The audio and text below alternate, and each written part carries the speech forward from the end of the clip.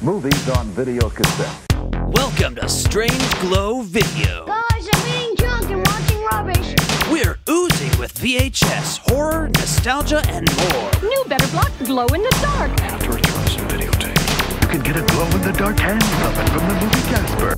And now, your hosts, Alec, Justin, and Nick. Hey, you're not allowed to rent here anymore. Hey, welcome back to Strange Glow Video. My name is Justin. With me, as always, is my co-host Alec. How you doing? Apes together. Circle jerk. Apes, Apes. apart. Masturbate. So, if that wasn't a clue, a context clue, we're going to talk about Planet of the Apes.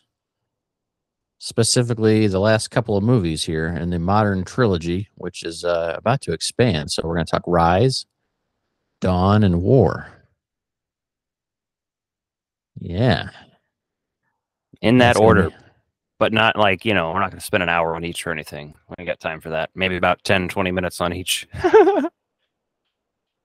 Yeah, Uh, no, I don't. We're not gonna like do like crazy detailed breakdown analysis and shit. So I have some notes, but nothing crazy. So we'll start with Rise of the Planet of the Apes, which has the now canceled James Franco as this star, you know?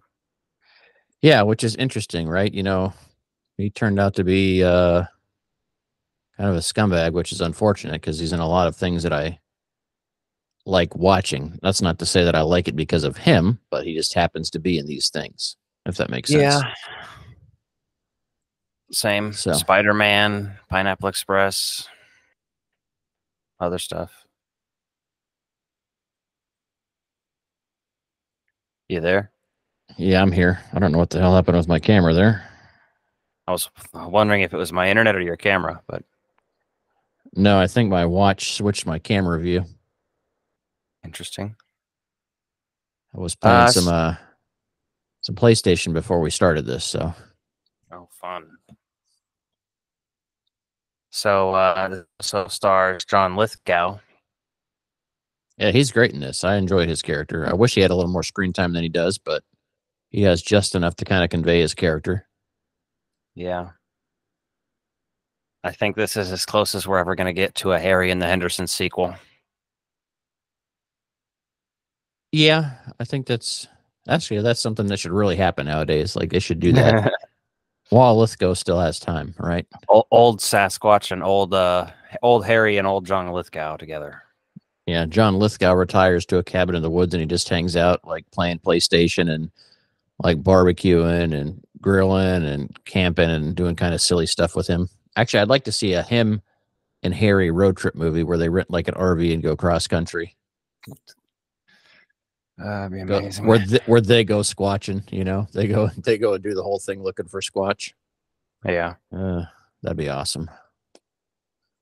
Um, No, let's so- see. What was this? 2011 for Rise? Is that when this Yeah. was? So 2011, Rise of the Planet of the Apes. This one was kind of a reboot. They hadn't really gone this territory before, so I do enjoy this one quite a bit. I think it's kind of fresh to see it kind of like have a modern take and where it starts. Ooh. Yeah. This is Conquest of the Planet of the Apes. Um, the first to feature the character of Caesar. Um, so Okay. in Conquest of the Planet of the Apes, there are. It's sort of very similar to Rise of the Planet of the Apes. Rise of the Planet of the Apes is very heavily inspired by this movie. It completely changes ideas. Like he, Caesar's like a circus monkey in this and stuff, and gets switched out with. uh At the end of the last movie, I think it is. Caesar is switched out with a different baby after two of the only apes that survived from the explosion at the, of the Earth and the end of be- Beneath the Planet of the Apes. I have confused the damn titles. Yeah, that's the So that's and then Okay. Conquest of the Planet of the Apes. That's when two of the apes time travel back to the 70s. It takes up where that left off. Two plant two of them got off and accidentally time traveled back to the 70s. And then they had a smart ape. And then they, she switches it out with an ape at the uh at a circus essentially. And then takes oh, okay. that ape and gets that dumb ape killed and just throws it off a bridge after it's killed and shit. it's fucking wild. And uh, so Roddy McDowall, you recognize that name? Mm-hmm. Yeah. Roddy McDowall, who played Cornelius in the original movies, the first two, I think. He plays Caesar in this one. And he also Okay. plays Peter Vincent in Fright Night. That's awesome. Hell yeah, it is. The original Caesar, Peter Vincent. So, yeah, I know.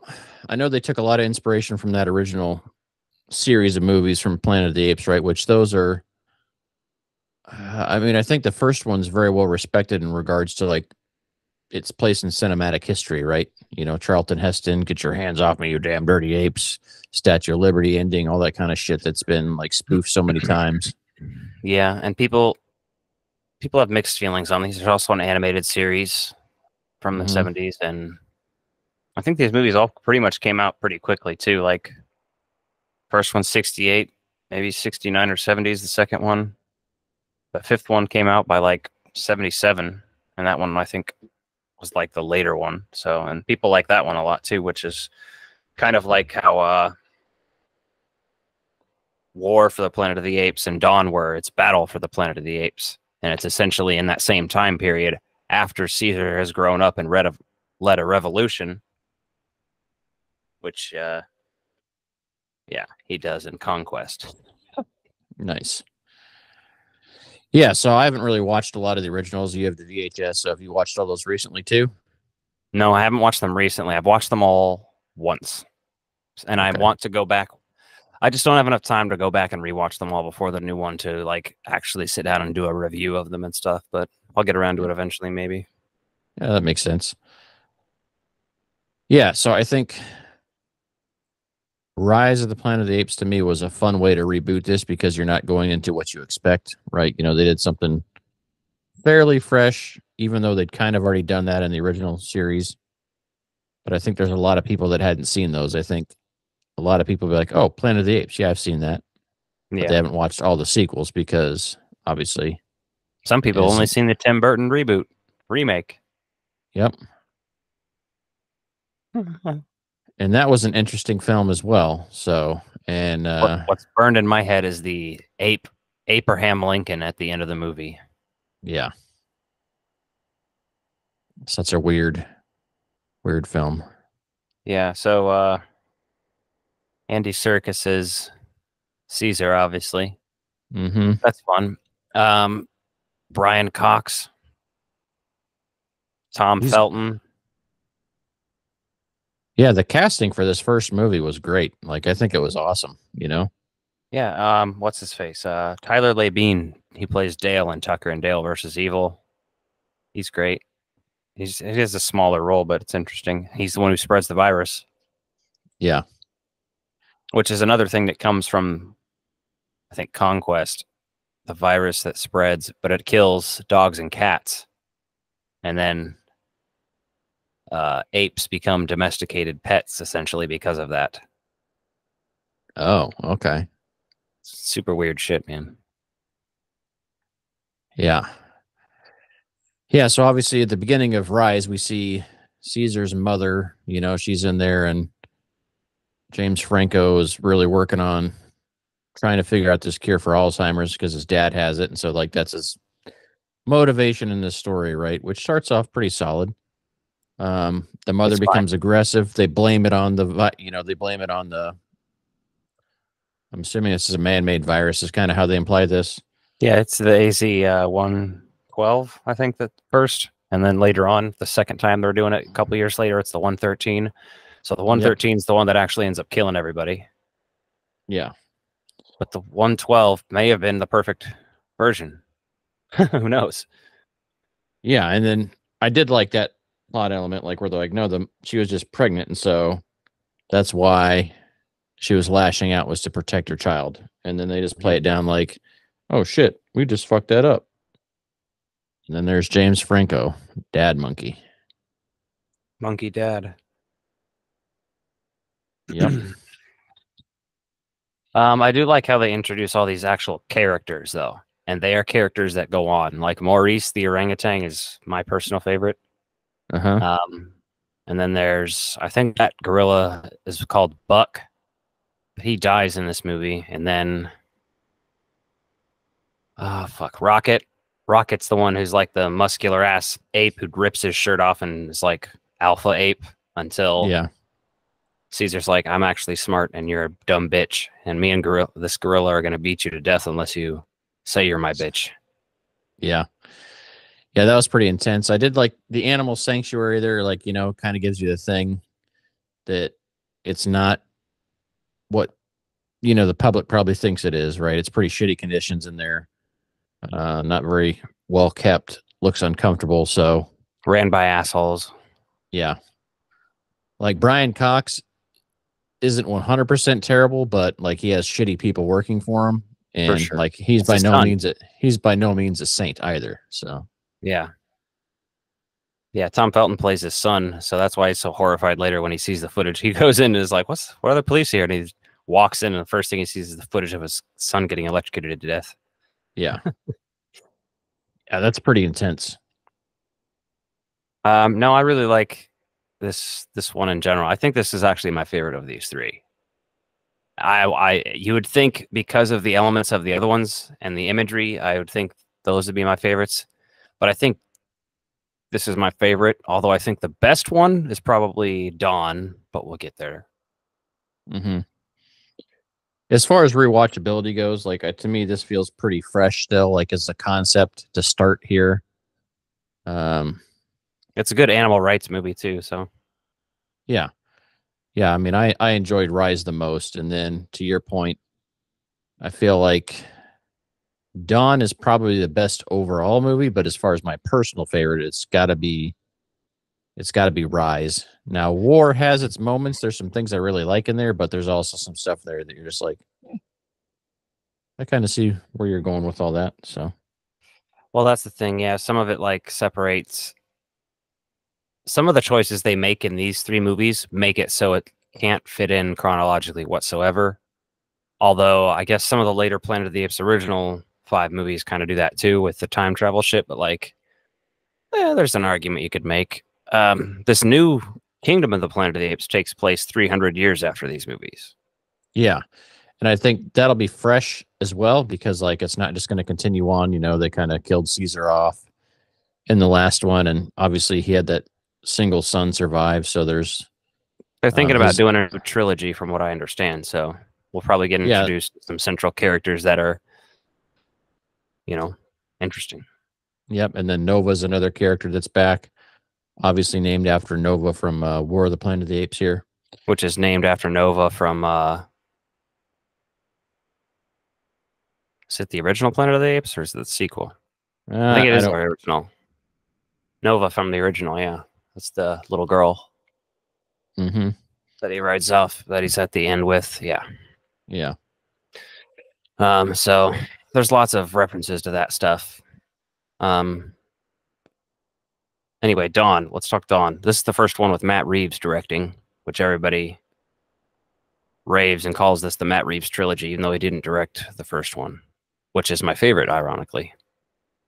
Yeah, no, Matt Reeves is a fine director. Like I don't have anything against him. Um I enjoy some of what he's done. Some of his stuff there's obviously criticism for, but you know, he's doing good work overall.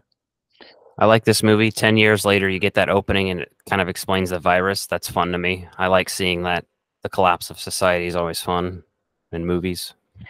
Yeah, I thought they did it really well. They didn't drag it on. It didn't need to be like a 20 minute opening piece. It's kind of like interstitched with the credits.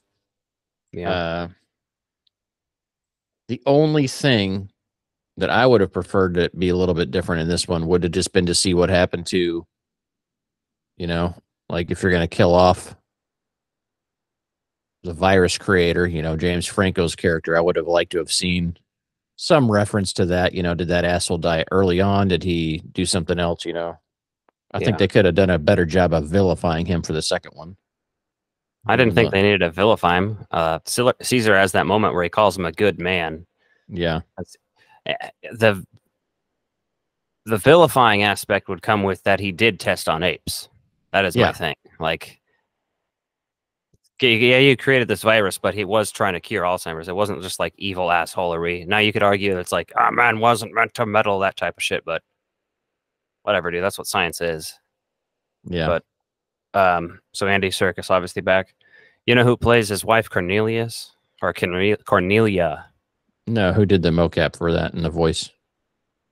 Judy Greer did the mocap. Oh, nice. Yeah, That's pretty cool.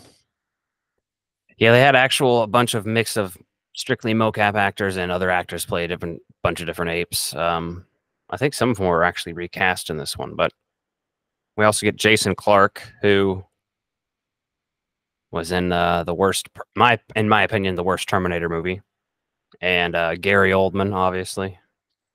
Yeah. So the worst Terminator movie, Genisys. Um, I hated him as John Connor. I like his character in this, and I really liked him in the Pet Sematary remake.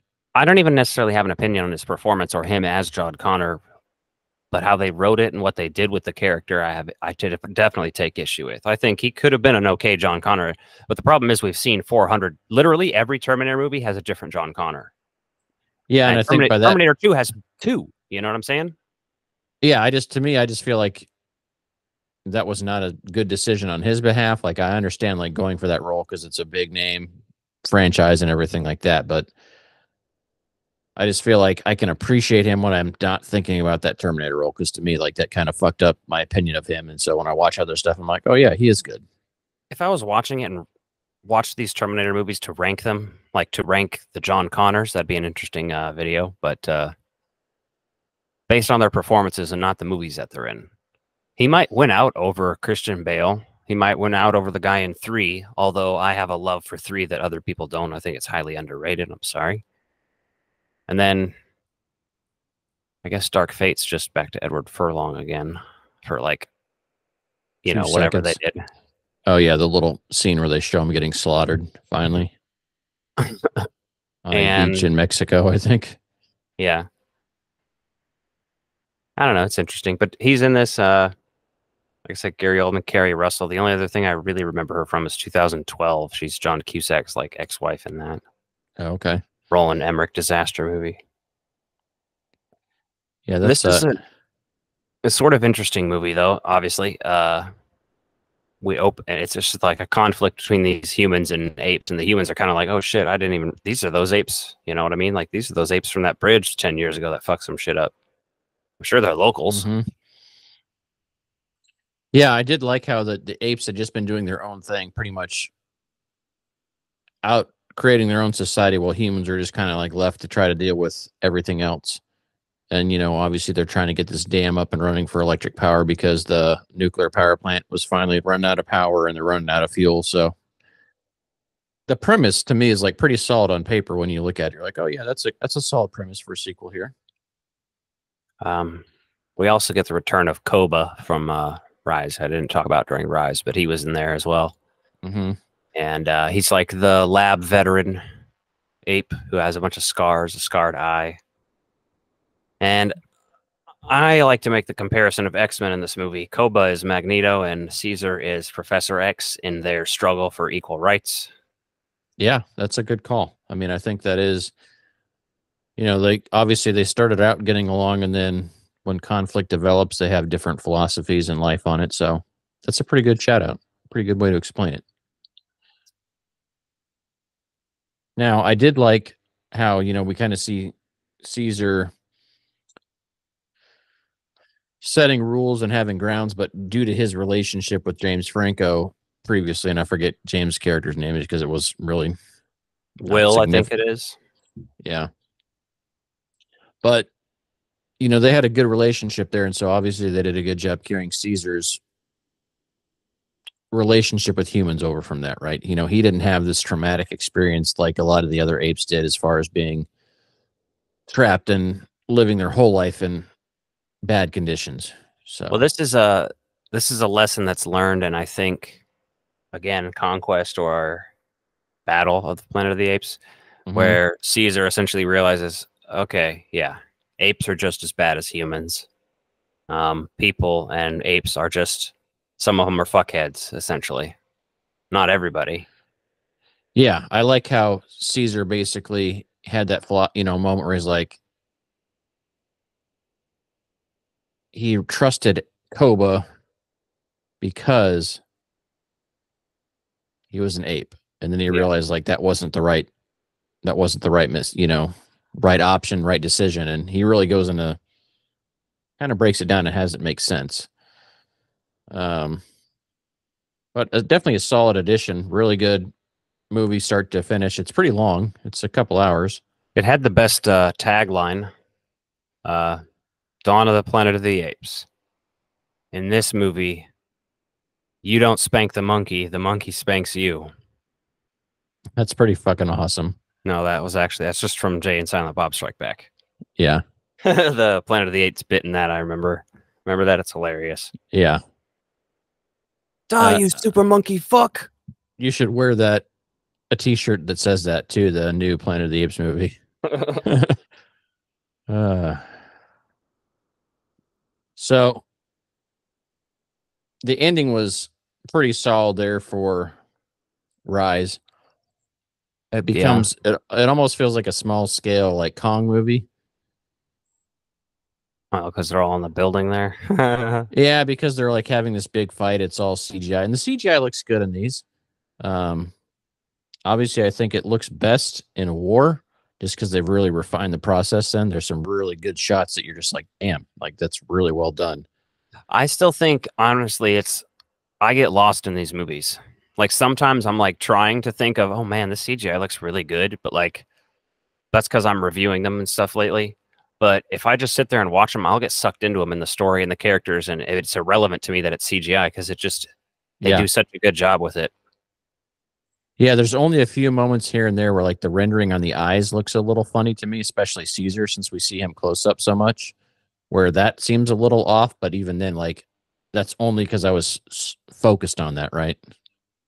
Again, I think was the, like, the writing and performance of the mocap actors as well definitely helps that. Yeah. So Now, the only thing I'm a little worried about with the new one, and I'll just skip to this side quest here for a second, is that Andy Serkis is not in this at all, which I think is fine. But like, I wonder, was he a consultant on there? Like, if you're going to do a continuation of his family, like, um, it would have seemed pertinent to have him on there just because he, you know, if you look at him before he really crossed over to being a acting in like in his present form, he did a lot of mocap work. Like, he was really yeah, they really- did um so i'm sorry to interrupt they did I gonna- watched the, the trailers for this new one Mhm. and it seems like the essentially the Proximus Caesar is he's the king but he's also the villain so Yeah. Yeah, they're almost going to the um original Planet of the Apes concept here, right? well they, they're kind of from what i understand in their reasoning of time i was walking some stuff the director was talking about it it's supposed to essentially take place between when the original movies would have been and the last trilogy 300 years after that so it's still still before but like because these original i think it's in like like it's way way way in the future like it's crazy how far it, it's like 37 or something like it's you know it's like Mhm. a thousand or more years but they got time to do another trilogy and then probably be okay and maybe just if they went forward going with remakes or reboots entirely like covering those redoing that style of uh the original pictures, yeah. yeah I could see them doing that if they if they get there and they have a need for it. Uh any other thoughts on Rise? Or not Rise, but uh Dawn? um koba dying he does uh does the best hans gruber impression i've ever seen He does. That's awesome. And the fact that Caesar's really contemplating in the moment, like, am I gonna kill this motherfucker? And he's like, Yeah, fuck this guy. yeah So I think that was well deserved because for a moment you really don't know. And I didn't watch this in a while, so I didn't remember. So it was fun to be like, oh yeah, there he goes. I've seen all three of these in theaters, and even the Tim Burton one. Every Planet of the Apes that's come out since I've been alive, I've seen in theaters. Oh, nice. Yeah, I'm trying to think if I saw any of these in theaters or not. I don't think I did. So um I did see the Tim Burton one in theaters, but I think we saw that together. If I remember correctly, that was I have a distinct memory of seeing that when mom had a bunko night and I was trying to get us to go see cats and dogs, but everybody outvoted me to Planet of the Apes. You're welcome. I think we did right for you by that. I don't know, because that was a pretty wonky uh, Planet of the Apes. It's Tim Burton. Can't go wrong. Everything after 1999 with Tim Burton has gone wrong, in my personal opinion, to be honest. I don't think I've like enjoyed a single thing he's done since then. We'll see about Beetlejuice, Beetlejuice. I'm holding out for hope because that seems to have a lot of practical effects. He went back to a style of filmmaking that he seems to be having fun with. You know, for a while he just seemed to be running out and pumping out movies, but yeah, I was just being a smartass with that. I didn't really to me, his version of Planet of the Apes is pretty forgettable. Like it doesn't really I remember the villain being really good, that mean ape guy. I don't know who he, who played him, but like did a great job. Yeah. And I remember Paul Giamatti being an ape. Oh shit. okay. I'm an ape. I'm in the Planet of the Apes by directed by Tim Burton. That's uh my best Paul Giamatti I can do off the top. Yeah, fair enough. Now, as we jump over and kind of get into War for the Planet of the Apes or War of the Planet of the Apes. War Uh, for the planet, yeah. yeah. It's uh Look, I'm a big Woody uh, Woody Harrelson fan, right? I think he does. He's a great actor. But for me, knowing that he's like fucking vegan and has been forever, like him playing this asshole that hates animals, Hmm. I can't buy his character in it. I have a hard time with it. It's like one of my roles that he's done. Like I don't hate him in the role, but I just think like it doesn't feel authentic to me. see, I just gotta think back to Natural Born Killers when he cuts off Robert Downey Jr.'s dick at the end. Yeah, and that's and uh, I'm all good. That seems like he's a fucked up guy to me. Yeah. I mean, yeah, I guess that's one way to look at it. um, Steve Zahn or Zahn, however you say his name, is Bad Ape. That's Yeah. pretty good addition. I really enjoyed him. Like he brought a little bit of comic relief the last couple of movies didn't really have.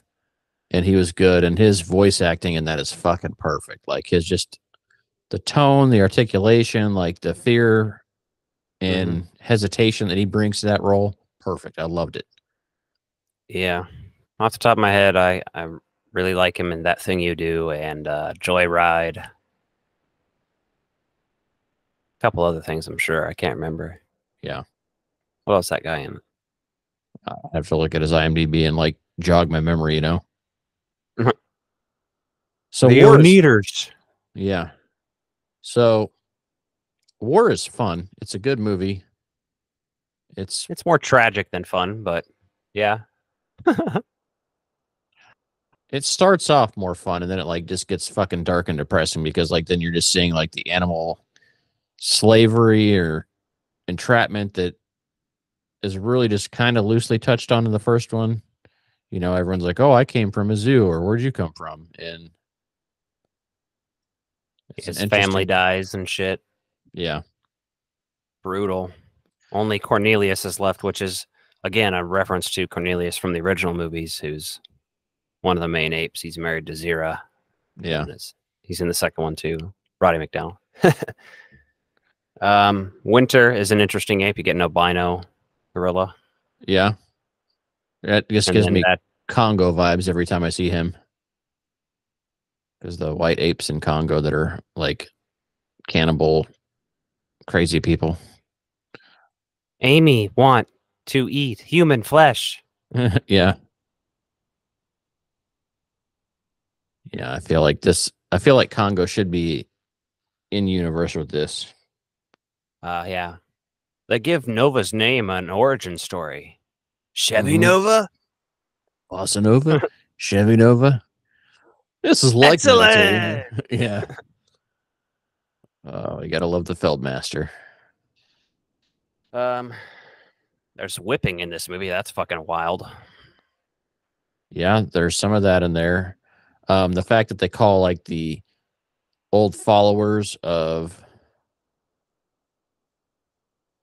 what's his name? Koba. Koba's old followers basically is they call them donkeys and they're out there helping like kill their own species. Donkey Just- Kong reference. Yeah. Yeah. Just to save their own life. And you're like, man, that's fucking dark. brutal. Um, it's interesting they they start developing the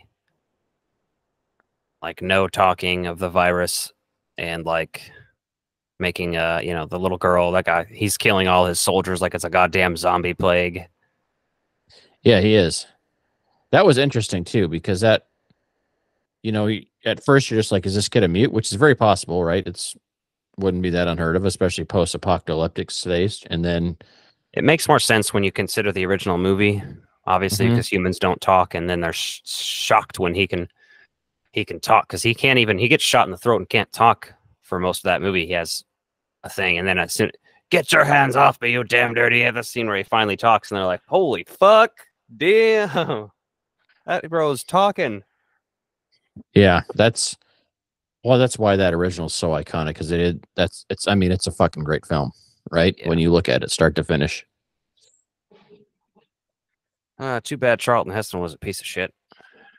Yeah, that's uh and a fucking role model to many for it too. Yeah. Uh, so, So- yeah, this movie uh, sort of ends with the defeat of all these motherfuckers, and then Caesar succumbing to his wounds. Mm-hmm. And I like how when Woody Harrelson's character goes, he's like, he's punished. You know, that dumbass picks up that little doll, gets the virus, and then it's just fucking trapped. And Caesar kind of realizes what happens pretty quick. Yeah. And doesn't mercy kill him. He lets him kill himself, but he's like, I'm not killing you. Right. So I thought that was pretty cool. And then the humans, like the war piece there, like I did like how they didn't over over prioritize that as a story element. You know, we just kind of knew that they were coming. And like that part looked great, you know. Um it's kind of like that big battle, all those explosions, and then you know, kind of at the end, everything's just fucked, and you're like, "Oh, this is, ends in a dark note." for the third one in a trilogy when they didn't know if they're going to make more. And as long as it's taken, it's going to skip time too. You know, like that ends on a fucking somber note. I mean, not only for the humanity, but for the apes too, because like they're all just fucking coming out of like starving and fucking barely getting by too. They're they're at the oasis though, I guess, which is the point. So they're like about Yeah. to move on fully from humans because I think those were the last real human threats that they were facing at the time. Yeah, that's true. I forget that that after that that last big battle, they do go there before Caesar dies and like dies and sees the Mecca or the promised land that they talked about that was past the desert where they'd be safe. So Whatever that place is that Bruce Campbell was shooting that gun in at the beginning of Congo. Yeah, that's pretty much it. I think that's exactly it. Yeah. Yeah, I think as a standalone trilogy, this one's pretty good. Um it's not like my favorite trilogy by any means, but it's it's a fun watch every couple years. I'm not like, oh, I got to watch these movies all the time, but I imagine your ranking would be the same as mine, which is just one, two, and three. Yeah, I like I like them all, but then if I'm going favorites, that's the order. yeah, I would agree. I mean, to me, I like Rise just because it was a fresh concept, and then like you kind of see where this all started. The story story's so good for Rise is the thing, and I, I I can see that with Dawn too. But Dawn has a lot different shit going on that Rise is more focused. I think. Yeah, there's a lot going on, and then the supporting cast, you know, like uh, Gary Oldman's very forgettable, to be honest, in that movie. I'm not gonna lie, he kind of sucks in that role. And that was around the same time he'd been, you know, playing Commissioner Gordon. So I'm like, how do you go from something so good to something so like, eh?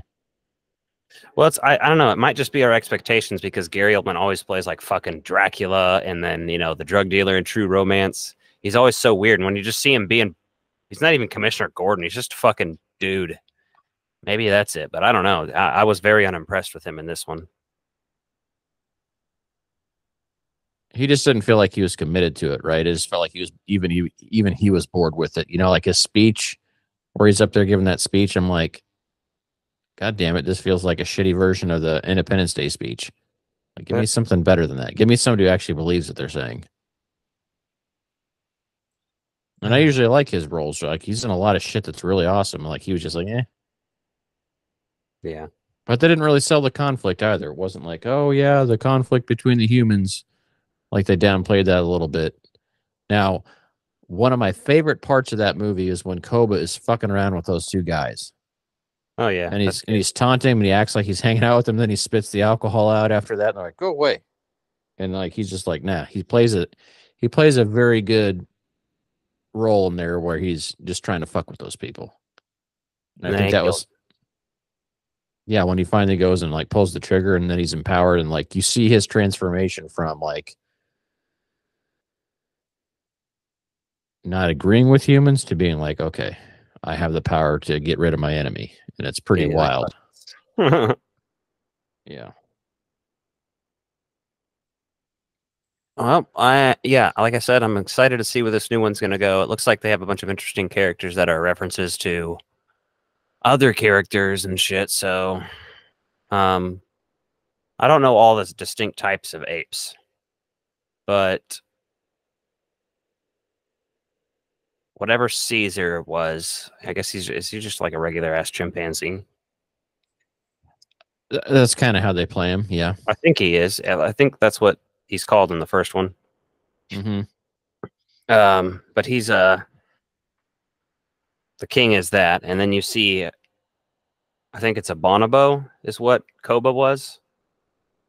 Okay. You see, you see one of those two. There's obviously orangutans and gorillas, so it'll be interesting to see what we get for characters and stuff. I always like the orangutans because they're like the more like intellectual and characters and stuff. Yeah. And I honestly haven't watched the trailer for this movie. I've just, you know, quickly looked at the IMDb to kind of see what was, you know, what it had to offer. Curious about William H. Macy being in this. I don't recall seeing him in the trailers, so I think you should be able good to check out a trailer. Uh, if you don't want to, if you want to stay spoiler ish free, watch the first one that came out a couple months ago. The newer one has like a little bit of the plot details, but not like Okay. enough that I know what's going on. All I know is that some young ape is going to be opposing the king. Okay. Fair That's enough. all I can really gather from it. But I'll have to check those out and kind of get a get a feel for it. yeah, All right. Well, let us know in the comments what you think of the uh this trilogy of Planet of the Apes, and if you're excited about the new one coming out. Obviously, we'll review that when it arrives, and we'll kind of give our thoughts on it and kind of see how it fits into Planet of the Apes as a whole, and then fits into this new take on Planet of the Apes. this is the tenth Planet of the Apes movie, I guess. Be the um, at least out of the newer stuff, it'll be the first one that'll be 20th Century Studios, not 20th Century Fox. So Wild. interesting stuff. All right. Well, I think that's all we've got on this one. So hopefully you enjoyed it. Let us know if we're assholes and we're wrong. And if uh if we're fucking gods and we're right, let us know that too.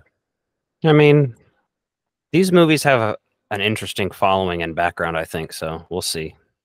Like, I don't know who is diehard fans of this. It's like weird sci-fi people, and I really like sci-fi, so I kind of like feel like I like it more than a little bit more than most people because I like the old ones too.